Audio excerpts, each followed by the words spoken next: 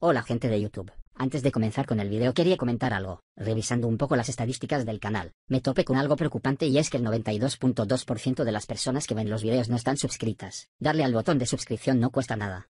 Y sin duda ayudará a seguir trayendo más videos.